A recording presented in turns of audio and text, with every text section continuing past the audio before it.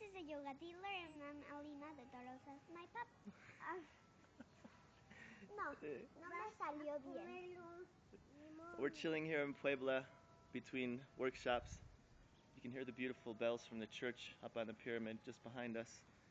Last night we rocked the house at Ama Yoga Center here in Cholula with 40 plus people opening their hearts with elements of backbending.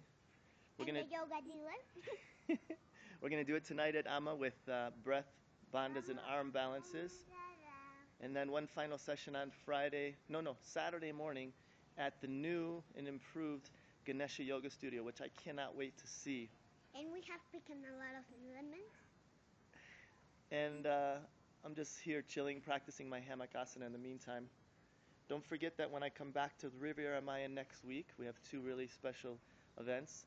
Saturday the 16th at Yoga by the Way in Playa del Carmen.